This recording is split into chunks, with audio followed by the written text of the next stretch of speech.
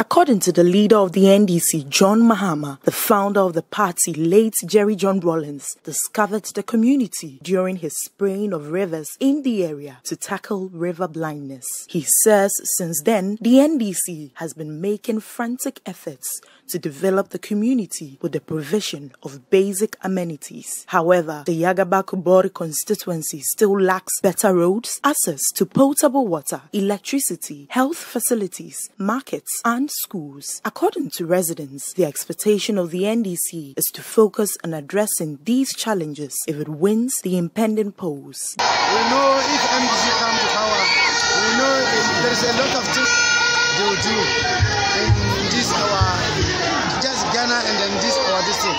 Because they started some we see this the beginning.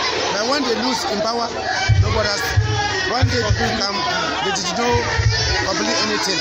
I expect them to improve quality education for. And then we should get our roads and the, the bridges that are remaining uncompleted to be completed.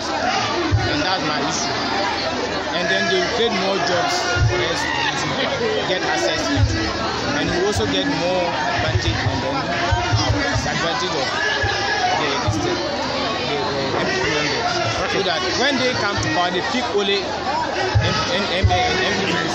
the we will come to power, create more job for everybody to get access. The NDC Regional Secretary of the Northeast Region, Ibrahim Tia, tells Citi News the party has achieved a lot for the region. Free healthcare is one of the challenges that we want to address. Aside of the, the, the, the free healthcare, the SHS, we want to add up a lot of infrastructure so that we eliminate the traffic system that they are implementing currently in the secondary schools.